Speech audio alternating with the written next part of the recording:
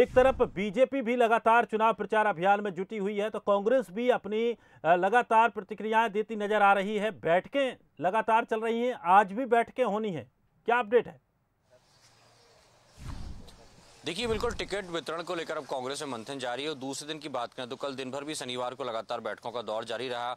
एक एक जिलाध्यक्ष और जो विधानसभा प्रभारी हैं, उनसे खासतौर से जो स्क्रीन कमेटी के अध्यक्ष हैं, जितेंद्र भवर सिंह या जो प्रदेश प्रभारी रणदीप सुरजेवाला के साथ ही जो पर्यवेक्षक हैं, अजय भल्लू, वो तमाम जो जिलाध्यक्ष हैं, उनसे फीडबैक ले रहे हैं, बातचीत कर रहे हैं।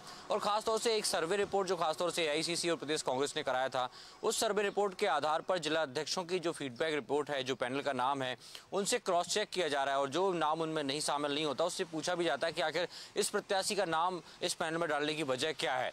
तो लगातार टिकट को लेकर मंथन हो रहा है, खासतौर से कल देखा हमने ग्वालियर चंबल की बात हो, उज्जैन सागर संभाग के पदाधिकारियों से मुलाकात की है।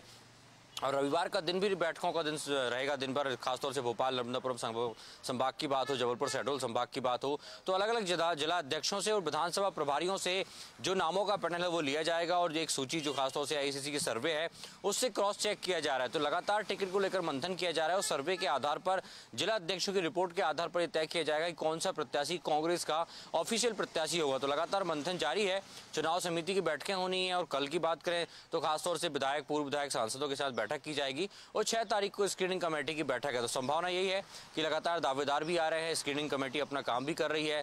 जिला अध्यक्षों का फीडबैक भी लिया जा रहा है वन टू वन चर्चा की जा रही है और उस मंथन के बाद जो नाम निकलकर सामने आएँगे, वो कांग्रेस के अधिकृत उम्मीदवार होंगे। दिनेश। चलिए, शुक्रिया सूरज जानकारी के लिए। तो ये माना जा रहा है कि जल्दी से जल्द अब कांग्रेस अपनी पहले प्रत्याशियों की सूची जारी करेगी। लेकिन उससे पहले ये बैठकें बड़ी महत्वपूर्ण हैं। इस बैठक में पदाधिकारी कार्यकर्ताओं की मुलाकात होगी, विधायकों की भी बैठकें होंगी और साफ़ तौर पर जो जिताऊ प्रत्याशी है उसका नाम घोषित किया जाएगा।